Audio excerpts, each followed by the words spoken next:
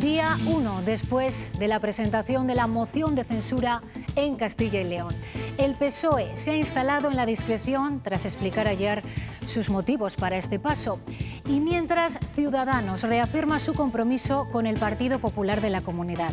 No solo cargos autonómicos, también lo ha hecho hoy su responsable nacional.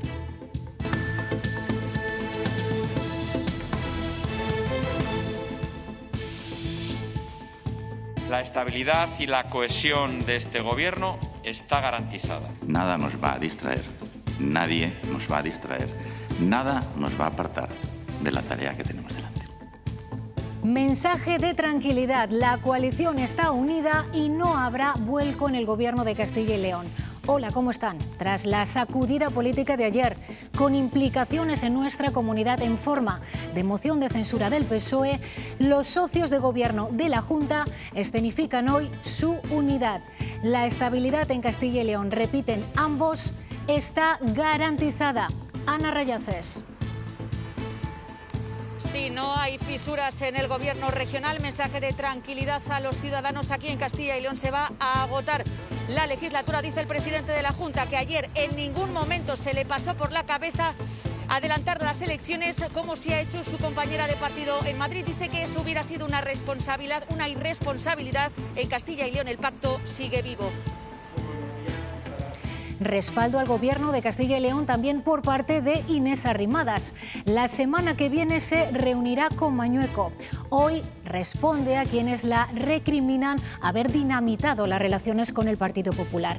Ella insiste, no apoyará la moción del PSOE en Castilla y León. Yo hablé con Pablo Casado y así se lo dije, que nosotros no íbamos a hacer nada en ningún otro gobierno y yo le digo que vamos a votar en contra de la moción de censura en Castilla y León del Partido Socialista y se va a ver que es que no había nada más. ¿Y cuándo será el pleno de la moción de censura? Pues la mesa de las Cortes se reunirá el martes que viene para analizar la moción.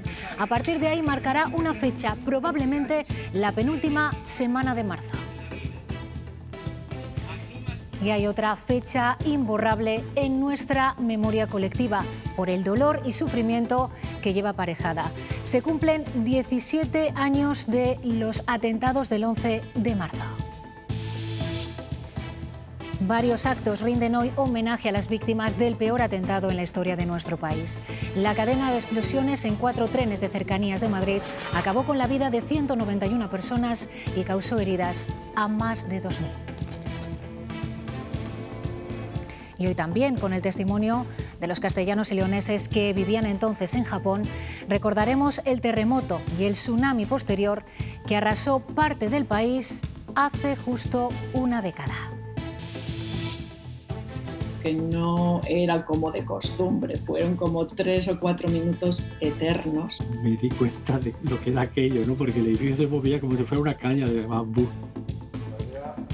Y en cuanto al tiempo, han llegado muchas nubes y hemos amanecido con mucho menos frío.